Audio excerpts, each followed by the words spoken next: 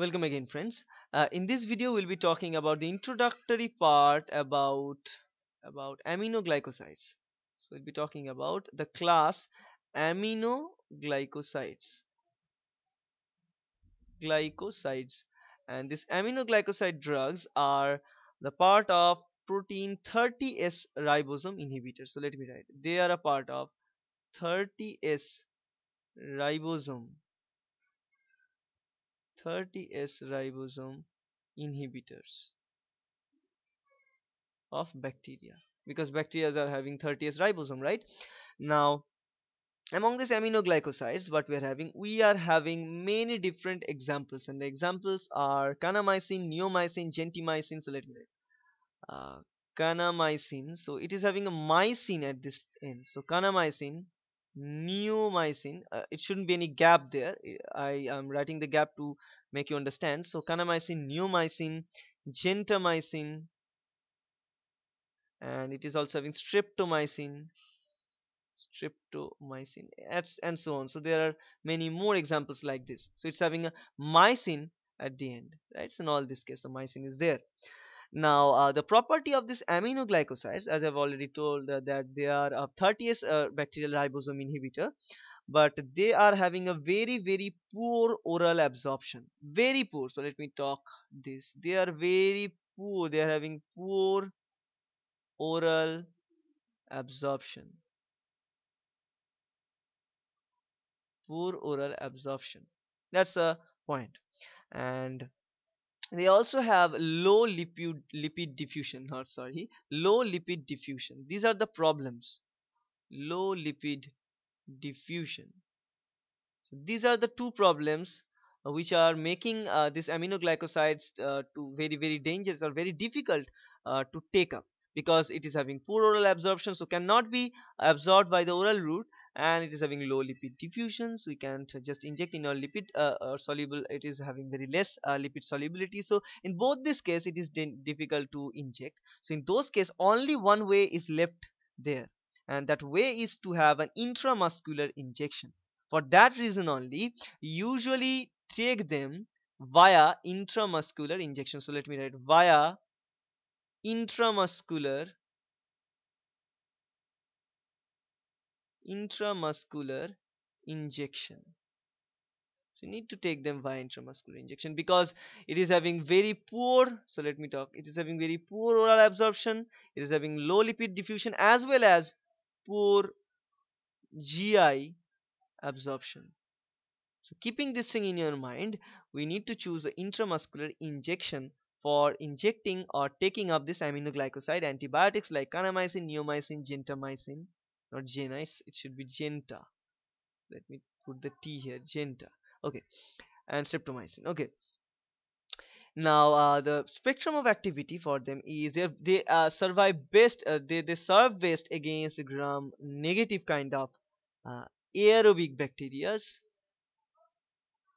Gram negative aerobes. Okay, like E. coli, Klebsiella, Pseudomonas, Proteus. So the examples, let me talk. E. coli, Pseudomonas okay uh, Klebsiella Klebsiella and also Proteus enterobacter Proteus enterobacter and so on. So you can see among all of them this E. coli enterobacter they are of enteric bacteria. Pseudomonas klebsiella is a kind of enterobacteria. Proteus is also enterobacteria. So they are very much effective against effective against enterobacteria. Enterobacteria. That means uh, uh, not entero actually enteric bacteria. Enterobacteria is a different kind. So let me put here they are against enteric bacteria. I must put it like that. Okay so they're against enteric bacteria. But they can also kill some gram positive aerobes an example is staphylococcus mycobacteria and uh, and few of them. Staphylococcus streptococcus and mycobacteria. So some gram positive i don't have uh, region left over. Anyways they can go against gram positive uh, aerobes also. And the example are staphylococcus mycobacteria okay and uh, remind you that these uh, kind of uh, activities are shown by this against this gram negative aerobes like E. coli, Klebsiella, Proteus, and all, all of them. these uh, effectivity as they are blocking the 30th ribosome, it is act uh, it is acting as a bacteriostatic agent, not as a bactericidal. So that means it is not killing the bacteria, it is bacteriostatic static in nature right? So it will halt and pause the growth of the bacteria rather than killing the bacteria. But uh, in whenever they are going against this gram positive bacteria like staphylococcus mycobacteria uh, and all of them in this case in those cases they can kill. In those cases they can kill the bacteria. So they can act as bactericidal if we take them for a prolonged time period against the gram negative gram positive bacteria like staphylococcus and mycobacteria and so on. Okay now the therapeutic use for them are against bacteremia, bacteremia. Now what do we mean by bacteremia? Bacteremia means uh, uh, in those cases where your blood is containing bacteria. So when your bloodstream, uh, so bacteria enters your bloodstream, in those cases we call that situation bacteremia. And also they can go against sepsis,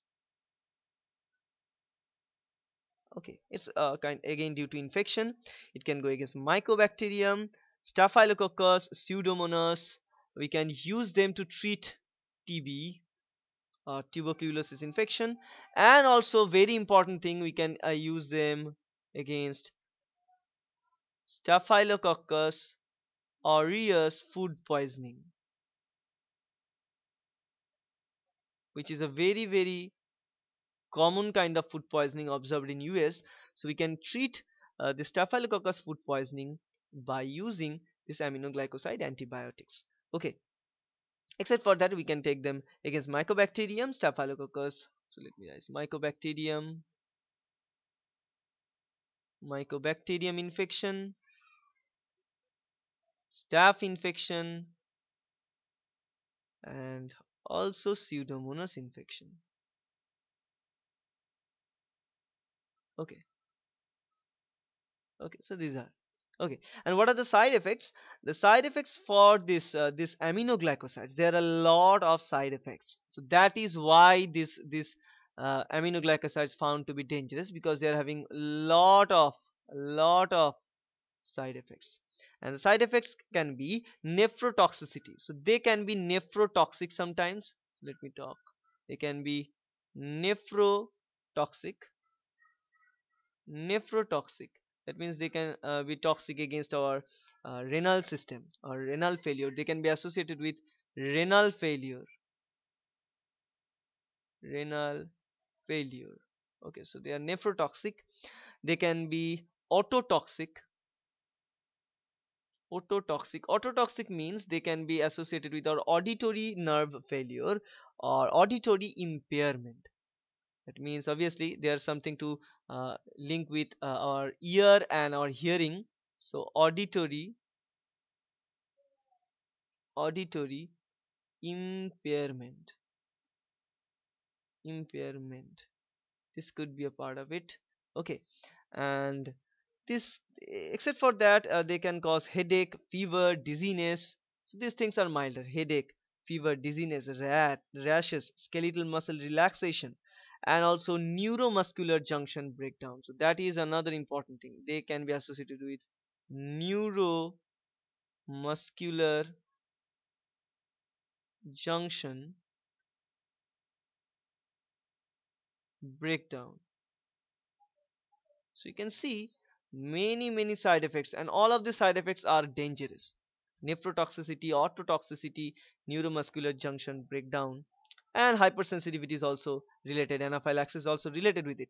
So uh, uh, so aminoglycosides are usually not taken a single uh, or usually not taken singly or as a simple a single antibiotic treatment due to this presence of lot of uh, side effects. So usually aminoglycosides are taken with beta lactams in those cases this toxicity will reduce in, in certain extent. So that's why it is always formulated to take uh, these aminoglycosides with some beta lactam antibiotics because beta lactams are bactericidal. So they are cidal. That means they will kill uh, the bacteria.